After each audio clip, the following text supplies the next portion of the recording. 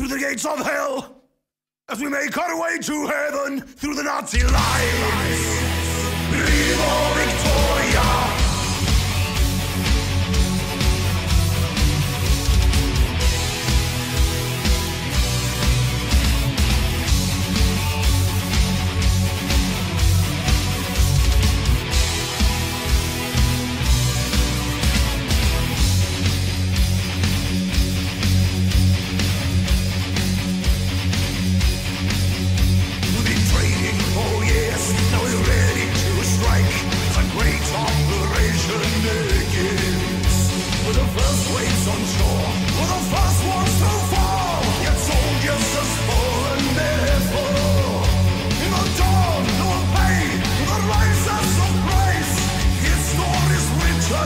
day.